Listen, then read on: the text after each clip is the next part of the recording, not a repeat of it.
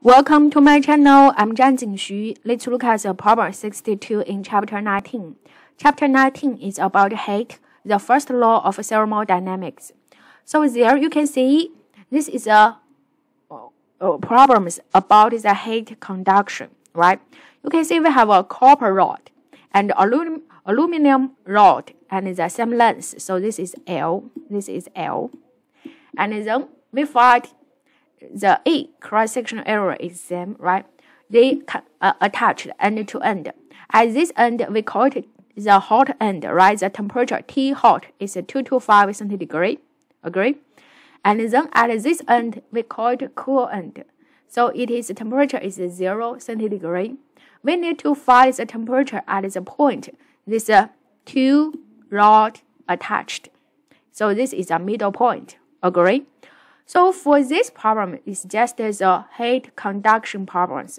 We know the heat transfers from this way to this way, right?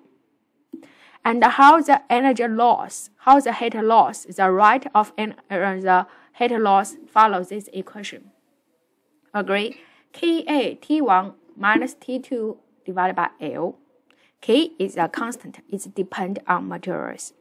So in this case, we can see these two rod just attached together. So that means the energy flow from the copper equals to the energy flow from the aluminum. Do you agree? Because the energy just transferred from one object to another object. Agree? Yes. So this one you equal, right? Uh, they equal. You agree. The next one, we can replace this uh, del Q over del T with the function. We write it as there. So for the copper part, the constant depend on materials copper, and then A is the same. And so the T1 is just the hot T hot minus the T. The, this T is at the middle point, this end, divided by L. So at the right hand side, you, you can see this is a T. This is aluminum. Is another materials. A is a cross-sectional areas, and then this is a, this the energy flows from zero is a T minus a T cool divided by L. Agree? Yes. And then we can see A and A can cancel.